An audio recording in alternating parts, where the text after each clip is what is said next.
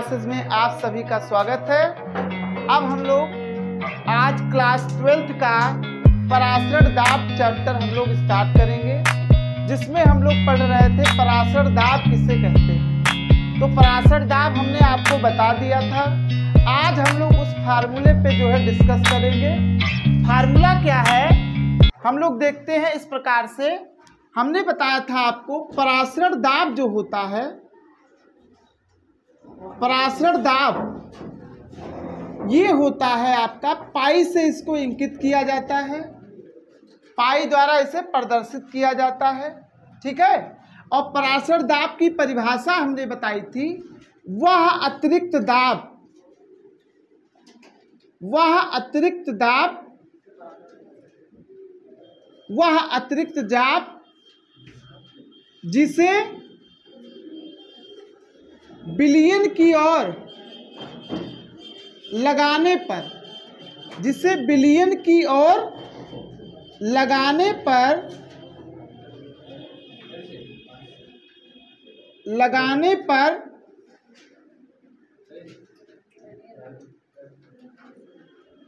Billion की ओर लगाने पर पराशर क्रिया रुक जाए। या पराशर प्रक्रिया रुक जाए। रुक जाए। तो इसी अतिरिक्त दाब को हम क्या कहते थे? पराशरण दाब कहते थे। अब कहा जाता है प्रयोग के दौरान या प्रयोग के उपरांत या प्रयोग द्वारा पता चला, प्रयोग द्वारा पता चला कि जो पराशरण दाब होता है, यानी पाई, जो पराशरण दाब होता है, यानी पाई, ये होता है समानुपाती होता है मोलरता के, यानी कैपिटल एम के। किसकी मोलरता होती है?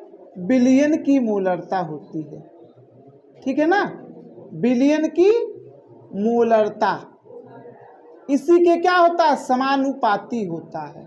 कौन? पराशरण? दाब। तो ये हो गया हमारा पहला समीकरण, जिसमें बिलियन का जो मोलरता होती है, वो समानुपाती होती है पराशरण दाब के। या आप कह सकते हो पराशरण दाब समानुपाती होता है मोलरता के। यानी कि अगर बिलियन की मोलरता बढ़ाओगे तो पराशरण दाब भी क्या होगा? बढ़ा बढ़ाना पड़ेगा आपको। यानी बिलियन जो जो बिलियन की ओर लगाए हो ना दाब तो जो बिलियन की ओर दाब लगाए हो तो और दाब लगाना पड़ेगा आपको। जैसे हमने आपको बताया था कि शुद्ध विलायक की ओर पराशर दाब या दाब कितना है? सौ है मान लो। और बिलियन की ओर दाब कितना है? अस्सी। तो हमने ये बताया था, अगर बिलियन की ओर अगर ये दाब बराबर कब होंगे? जब दोनों तरफ़ सौ सौ हो जाएगा। तो बिलियन की ओर कितना दाब लगाए? अस्सी और बीस? सौ। यानी बीस दाब लगा देंगे तो क्या हो जाएगा? दोनों तरफ़ का दाब बराबर हो जाएगा। शुद्ध विलायक और बिलियन की ओर का दाब बराबर हो जाएगा। इससे क्या हो जाएगी? पराशर क्रिया रुक जाएगी। ठीक है? तो इसी अतिरिक्त दाब बीस बीस ही तो लगाए हो। तो बीस जो अतिरिक्त दाब लगाए हो, उसी को हम क्या कहते हैं? पराशरण दाब। तो पराशर दाब अगर बिलियन की मोलरता ज़्यादा हो जाएगी तो उसका जब बिलियन की मोलरता यानी बिलय ज़्यादा मिल गया होगा।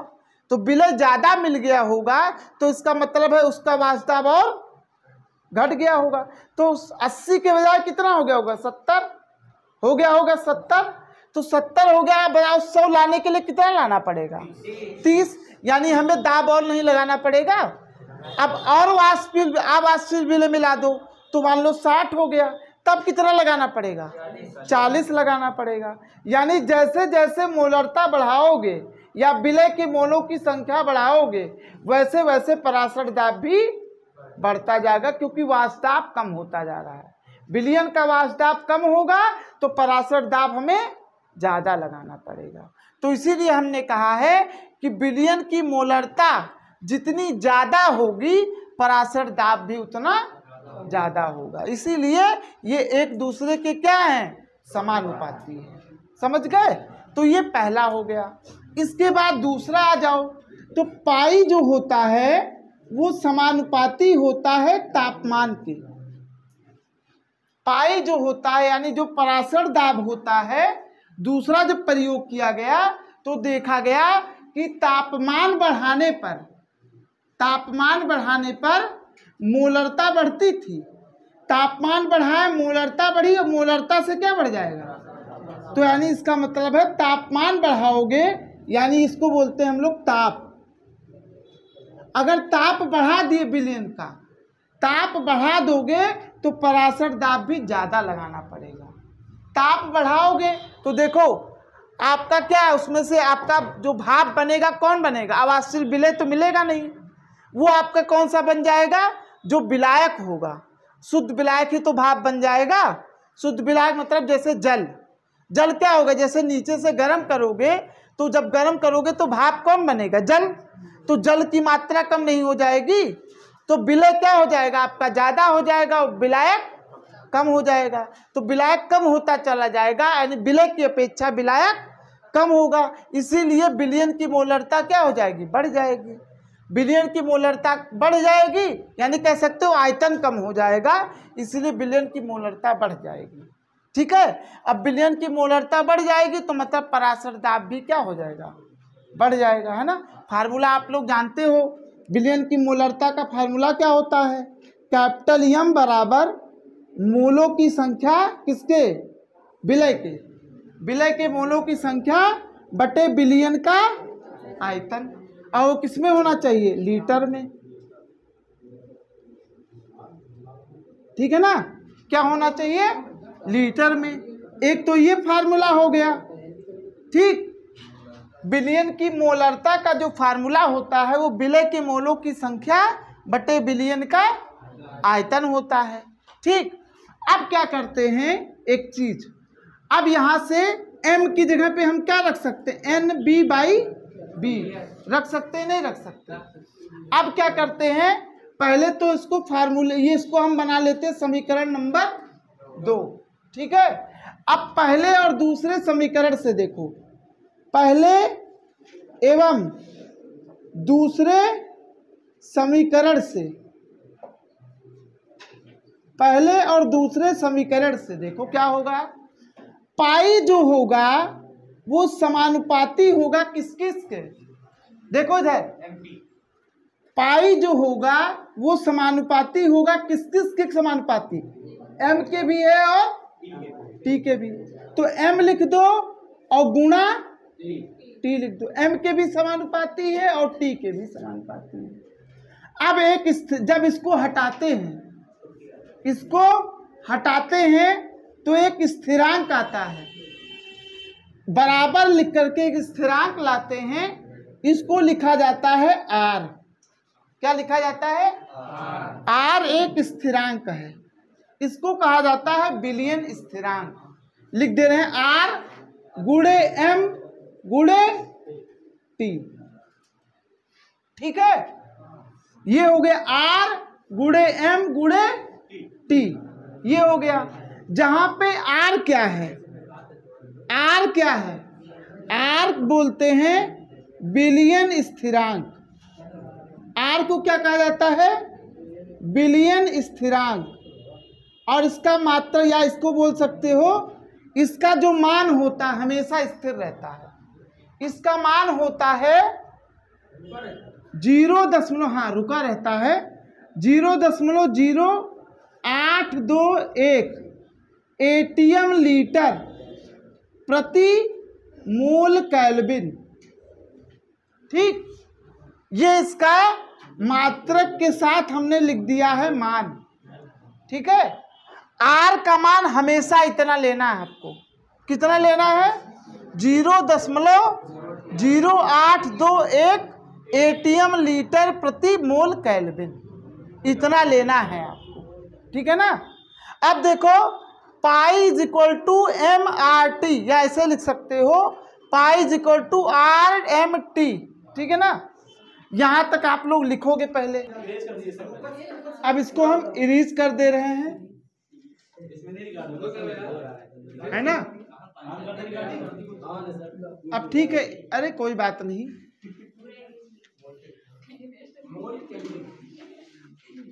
अब वन है ना? चलो, अब देखो इधर। हमने क्या लिखा था? Pi is equal to M R T pi is equal to M R T लिखा है। ठीक है ना? Pi is equal to M R T अब समझे? अब देखो क्या करते हैं हम लोग? एम की जगह पर हम ये लिख दें? क्या ये लिख सकते हो? एन बाई बी या एन बाई बी लिख सकते हो ना? तो pi is equal to M की जगह पे क्या लिख देते हैं? N B by B R T बीच बीच में गुड़ा है। एस लिख दो। ठीक है ना? अब देखो क्या एनबी की वैल्यू रखेंगे। लेकिन अभी फ़िलहाल समझाने के लिए एक काम करते हैं बी को यहाँ ले आए तो। तो क्या हो जाएगा? पाई इंटू बी एस लिख दें? Is equal to N B R T हो जाएगा नहीं हो जाएगा? ये जानते हो कौन सा फार्मूला है? आदर्श गैस समीकरण। आदर्श गैस समीकरण। आदर्श गैस समीकरण। क्या है? वो सही है सही है सही है। आदर्श सही लिखा है। सा पे कहाँ रहता है? दा पे रहता है। आदर्श सही है सही है। आदर्श गैस समीकरण का ये फार्मूला होता पढ़ा होगा आपने आदर्श गैस समीकरण होता है P B is equal to N R T जहाँ पे पी क्या है? दाब, प्रेशर। और बी क्या है? आयतन। एन क्या है? मोलोक संख्या। आर क्या है? गैस का स्थिरांक, जिसको यहाँ बिलियन का स्थिरांक लिखा है। और टी क्या है? तापमान है। ताप है। अब देख लो, इन दोनों को मिलाओ, क्या दोनों सेम है? दोनों को मिलाइए, क्या दोनों सेम है? अरे पी लिखा है तो दाब है तो ये भी तो कोई दाब है। कौन सा दाब है? ये पराशर दाब, यानी दाब ही तो है। बी यहाँ भी लिखा है बी यहाँ भी लिखा है। एन यहाँ भी है एन यहाँ भी आर यहाँ भी यहाँ भी टी यहाँ सब सेम है। तो आदर्श गैस समीकरण आपने प्राप्त कर लिया है। P B is equal to N R T यहाँ pi B is equal to N R T है। ठीक है ना? इसको लिखने के बाद अब देखिए अब क्या करते हैं? हम यहाँ से ही इसको आगे बढ़ाते हैं। ये तो आपको समझाने के लिए था कि P B is equal to N R T या pi B is equal to N R T होता है जो कि किससे आता है? ये दोनों लगभग लगभग सेम होते हैं। P P B is equal to N R T ठीक है? अब देखो आप ये फार्मूला जानते होगे ये फार्मूला आप जानते होगे, विलय के मोलों की संख्या अगर निकालनी है तो बिलियन का द्रव्यमान या विलायक का द्रव्यमान, या जिसका भी द्रव्यमान निकालना हो, विलय का द्रव्यमान बटे विलय का मोलर द्रव्यमान। स्मॉल एम बटा कैपिटल एम यही तो होता था एनबी सब जगह बी बी लिख दिया है और क्या। ठीक है ना? अब इसको उठा करके इसमें रख देते हैं। या इसमें रख देते हैं तो क्या हो जाएगा? देखो, pi is equal to N B के जगह क्या लिखना है? स्मॉल एम बी बटा कैपिटल एम बी गुड़ा बी एस लिख दें। ठीक? क्योंकि आप जब इसको बटा में नीचे है ना, ये ऊपर जब लिखोगे तो ये एम बी नीचे चला आएगा। एम बी किससे गुड़ा हो जाएगा? बी एस से गुड़ा हो जाएगा। गुड़े आर गुड़े टी अच्छा एक चीज़ समझो बात को, ये जो होता है, ये लीटर में होना चाहिए। अगर मिलीलीटर में है, तब क्या करेंगे? तो एक हज़ार से ऊपर गुणा कर देना है। Pi is equal to M B गुड़े एक हज़ार बटा कैपिटल एम बी गुड़े बी एस अब ये किसमें होना चाहिए? मिलीलीटर में। ठीक। और गुड़े आर गुड़े टी। ये हो जाएगा हमारा अंतिम फार्मूला। हाँ एम का मान डायरेक्ट आप पुट कर सकते हो। मोलरता यही होती है ना इतना बड़ा। मोलरता यही तो होता है इतना बड़ा। मोलरता यही होता है। मोलरता आपका ये भी होता है। मोलरता ये भी होता है। और मोलरता ये भी होता है। तो जो लास्ट में, अंतिम में जो फार्मूला आया है, वो मोलरता का इतना बड़ा फार्मूला आया है, बाकी आर और टी वही लिख दिया उठा के। आर का मान हमेशा स्थिरांक होता है। आर का मान इतना ही रखिएगा। हर बार इतना ही। ठीक है ना? हर बार इतना रखिएगा, सही रहेगा। हाँ अब इसको लिख लीजिए आप लोग। देखिए 2023 का ये पेपर है, यूपी बोर्ड का हाँ? और इसमें एक प्रश्न आया था आपके लिए। प्रश्न ये आया था, कहाँ गया? ये आया था आया था, गणना कहाँ लिखिए 27 डिग्री सेल्सियस ताप पर, लिखिए। 27 डिग्री सेल्सियस ताप पर चौथा का घा है। ये आया था। चौथा का घा, तीन नंबर में ये प्रश्न आया था। 27 डिग्री सेल्सियस ताप पर यूरिया 27 डिग्री सेल्सियस ताप पर यूरिया। 60 लिखिए, अड़ुभार। अड़ुभार 60 हाँ हाँ। हाँ हाँ। अड़ुभार साठ लिखिए, के यूरिया ब्रैकेट में लिखना था अड़ुभार, साठ। यूरिया अड़ुभार साठ। के ब्रैकेट बंद करके, के पाँच प्रतिशत पाँच प्रतिशत W by B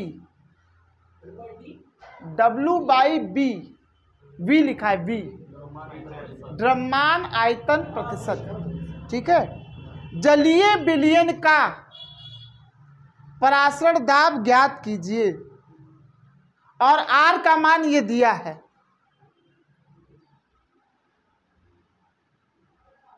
आर का मान दिया है आपको। हाँ परासर दाब ज्ञात कीजिए। देखो ये फार्मूला है एम बाई बी का लिखा है। पच, कितना प्रतिशत है? पाँच प्रतिशत है। मतलब पाँच हो जाएगा एम बी और आयतन कितना हो जाएगा? सौ। समझ गए? बिलियन का आयतन कितना होगा? सौ। यानी ये सौ एम एल हाँ। ये सौ एम एल हो जाएगा और द्रव्यमान कितना है? पाँच। पाँच ग्राम हो जाएगा।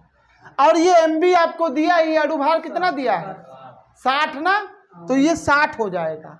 और आर का मान यही रख दो। और तापमान किसमें होगा? कैलबिन में लिखना। सत्ताईस डिग्री सेल्सियस को कैलबिन में बदलोगे तो आपका आ जाएगा तीन सौ।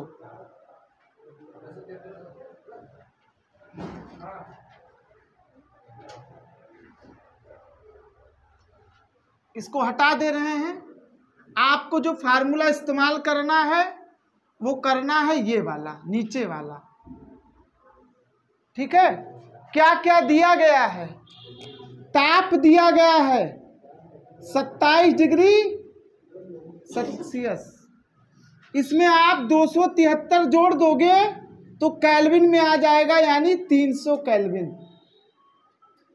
तीन सौ कैल्विन आ गया ताप। यानी टी के जगह पे क्या लिखोगे? तीन सौ। ठीक है? और एम बी कितना है? पाँच ग्राम। पाँच प्रतिशत दिया है ना? तो पाँच ग्राम। अच्छा बी एस कितना है? सौ ग्राम। सौ एम एल बी एस कितना है? सौ एम एल और अड़ुभार दिया है ना? कैपिटल एम बी कितना दिया हुआ है? साठ। साठ लिख दीजिए। और आर का मान आपको दिया है ज़ीरो दशमलव ज़ीरो आठ दो एक। एटीएम लीटर प्रति मोल कैल्विन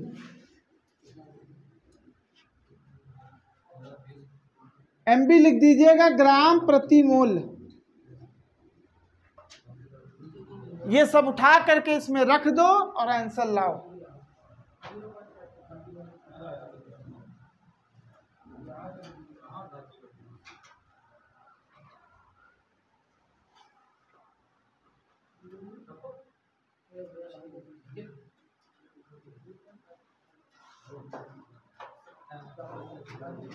कितना आंसर आया? इसको लगाते हैं यहाँ पर।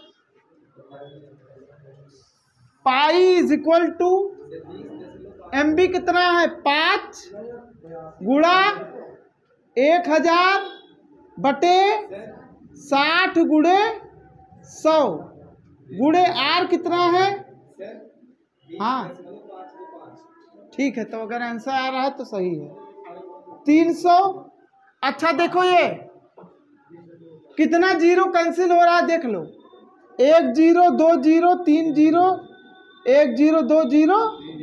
तीन ज़ीरो। कैंसिल हो गया? अब देखो, साठ का इससे कटता है, नहीं कटता है? छ का। छ कन्नम छ और ये पचास हो जाएगा? हो जाएगा, नहीं हो जाएगा? अच्छा अब पचास को पाँच से कर दो तो कितना आएगा? ढाई सौ? बट ढाई सौ को किससे गुणा कर दो? ज़ीरो दशमलव ज़ीरो आठ दो एक से गुणा कर दो। बस जो आंसर आएगा एटीएम में आंसर आएगा। जो भी आंसर आएगा, वो आपका एटीएम में आएगा। एटीएम में आंसर आएगा। बीस दशमलव पाँच दो पाँच। एटीएम आएगा। यही आया था और इतना ही आपको करना था। फार्मूला पता हो आप सीधे इतना लगा दो यानी एक लाइन, दो लाइन, तीन लाइन, चार लाइन। चार लाइन का सवाल था, तीन नंबर मिलना था।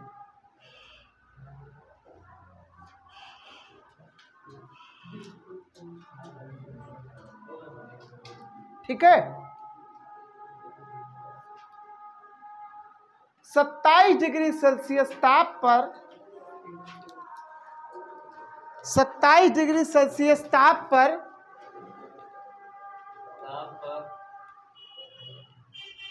दस ग्राम यूरिया,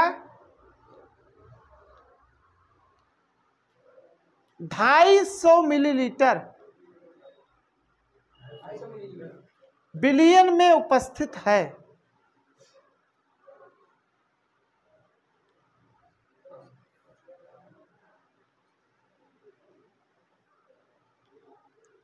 ढाई सौ मिलीलीटर बिलियन में उपस्थित है। तो परासरण दाब की गणना कीजिए।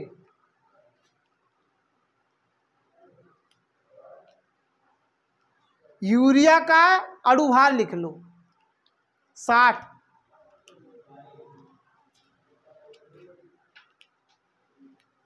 यूरिया का अड़ुभार लिख लो साठ और आर बराबर लिख लो। याद हो गया होगा आर तो। आर बराबर कितना है? ज़ीरो दशमलव ज़ीरो आठ दो एक। थोड़ा सा देना तो मोबाइल इसको। ये कर रहे हो? गुड़े, आर कितना है? गुड़े, तीन सौ। तो ढाई सौ कन्नम और ढाई सौ चौका। ठीक? ये ज़ीरो से ज़ीरो कैंसिल। छः का यहाँ पे करेंगे तो छः कन्नम और छः पचास। हो गया? हो गया नहीं हो गया? अब पचास चौका कितना होता? है दो सौ? हो गया नहीं दुई सौ? अब दुई सौ जब हो जाएगा तो इसका मतलब पाई बराबर दुई सौ गुड़े ज़ीरो दशमलव ज़ीरो आठ दो। अब दुई से कर लो गुड़ा। दो से करोगे और दो ज़ीरो बढ़ा देना पीछे। ठीक है? तो ये देखो ये आपका आ जाएगा? दुई एक नंबर दुई दो दुन्नी, चार, ठीक है ना? और दो ज़ीरो वो लिख देना पीछे। ठीक? और दो अट्ठे सोलह। और कितने अंक बाद दशमलव लगाएँगे? एक, दो, तीन, एक, दो, तीन सोलह दशमलव चार दो। एटीएम देखो यहाँ पे आपको कैलकुलेटर की ज़रूरत भी नहीं थी।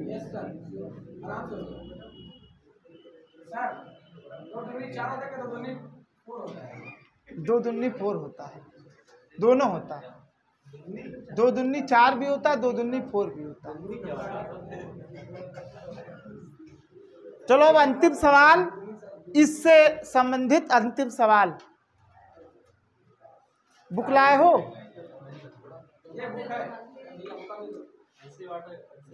ला बुक लाए हो तो देना।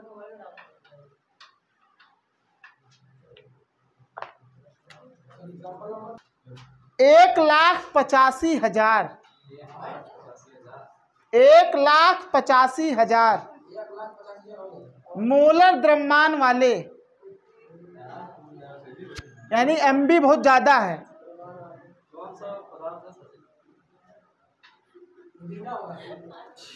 मोलर द्रव्यमान वाले एक बहुलक के बहुलक ही होगा तो इतना ज़्यादा द्रव्यमान बहुलक का ही होता है। बहुलक के एक ग्राम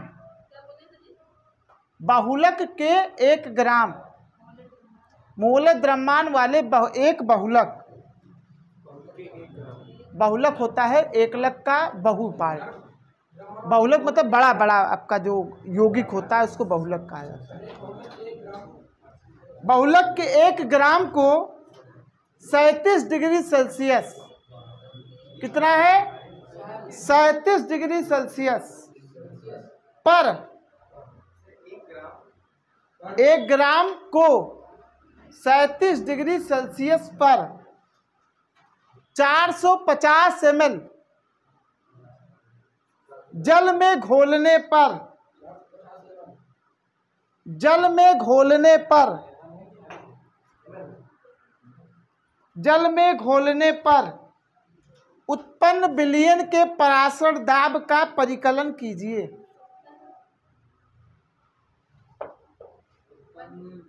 उत्पन्न विलयन के पराशर दाब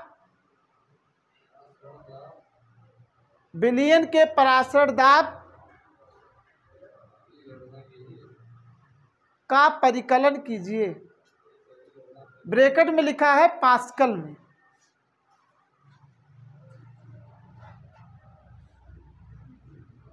खाली फार्मूले में रख देना है आपको। पास्कल में।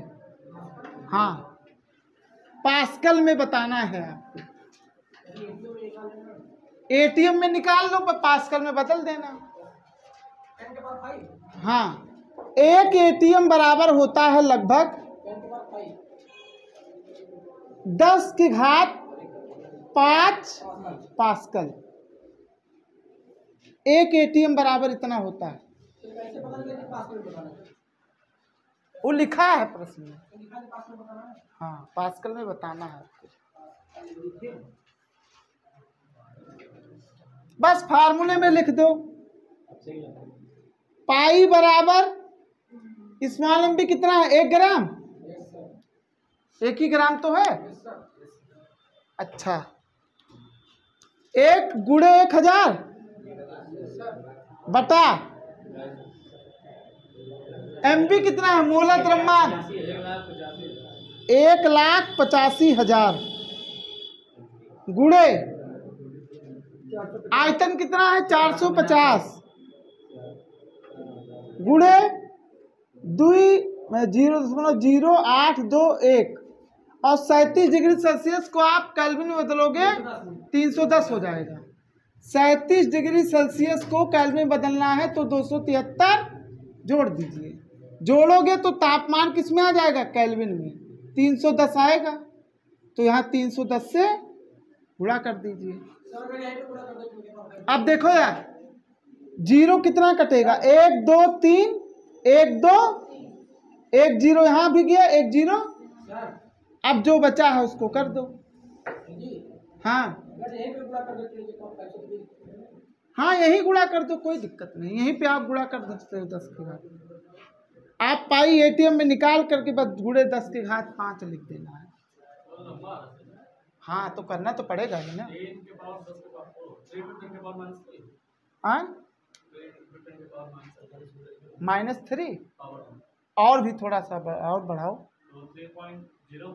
हाँ जो भी जो भी थोड़ा बहुत बढ़ाओ हल्का।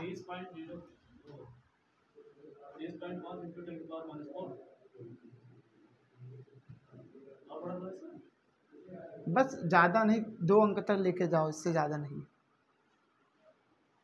बताओ कितना आ रहा है?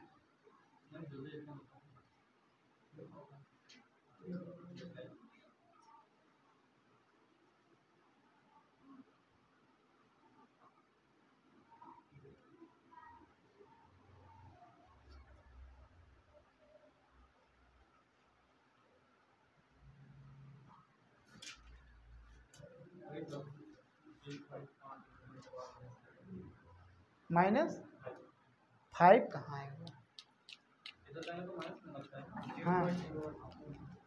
हाँ। नहीं जी और कुछ है गड़बड़ कर रहे हैं। इसको तीन से गुणा करो पहले। इकतीस से। जितना आ रहा है करोगे। ज़ीरो दशमलव ज़ीरो आठ दो एक को इकतीस से गुणा करो। ज़ीरो ज़ीरो आठ दो एक। तीन से करो तो तीन। तीन दुना छः। आठ त्रिक चौबीस और तीन ज़ीरो हैं ज़ीरो। एक, पाँच, आठ, छः, चौदह, एक आया, पाँच, दो, ज़ीरो। एक, दो, तीन, चार। एक, दो, तीन, चार। आया है दो दशमलव पाँच, चार, पाँच, एक। इतना आया है ऊपर। दो दशमलव पाँच, चार पाँच, एक, बटा। इसको करते हैं, देखो, इसको इसका कितना आता है?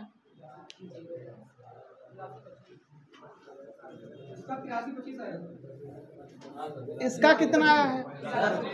हाँ? नीचे वाला बताओ। आठ हज़ार तीन सौ पच्चीस। तीन सौ पच्चीस। हाँ बताओ फिर कितना आया है?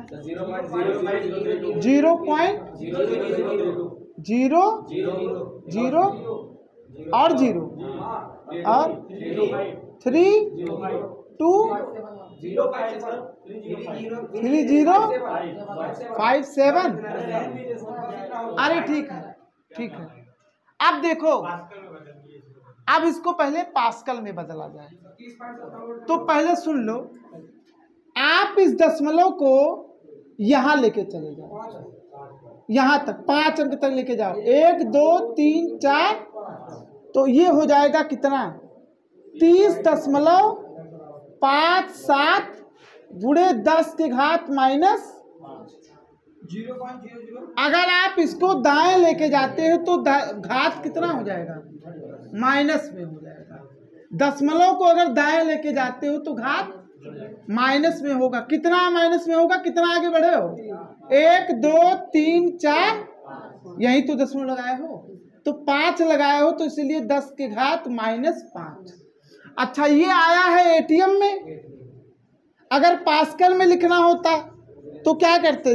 तीन दशमलव, तीन ज़ीरो सात, मैंने पाँच सात गुड़े दस के घात माइनस पाँच गुड़े दस के घात पाँच, पास्कल लिख देते अच्छा ये माइनस पाँच है और ये? तो ये कट नहीं जाएगा? ये माइनस में और ये कट गया तो यानी कितना आ गया आंसर? पाँच, सात, पास्कल। यही आ जाएगा हमारा आंसर।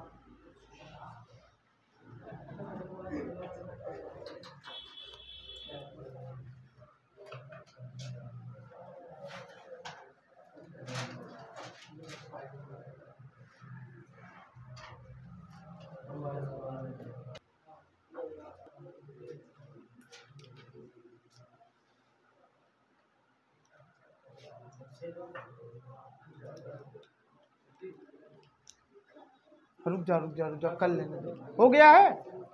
चलो बोल रहे हैं। एक प्रोटीन के 200 ml जलीय विलयन में। एक प्रोटीन के 200 ml जलीय विलयन में। एक दशमलव दो छ ग्राम। एक दशमलव दो छ ग्राम। दो छ ग्राम प्रोटीन है। यानी प्रोटीन का द्रव्यमान दिया है, ठीक है? हाँ स्मॉल एम दिया है। इसके बाद 300 केल्विन पर 300 केल्विन पर बिलियन का परासरण दाब। 300 केल्विन पर बिलियन का परासरण दाब।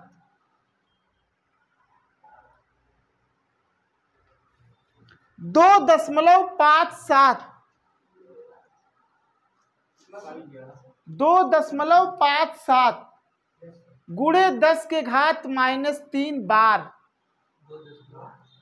दो दशमलव पाँच सात गुड़े दस के घात माइनस तीन बार।